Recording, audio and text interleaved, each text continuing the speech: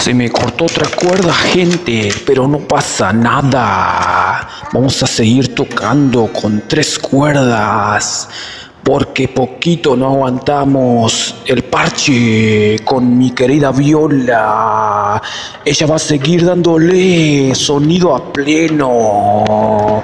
Me dijo que cuando les compre las cuerdas, que haga un video colocándolas. Eh, yo le dije que sí, que lo voy a hacer con mucho cariño y respeto. Es así. Aguante, querida Viola.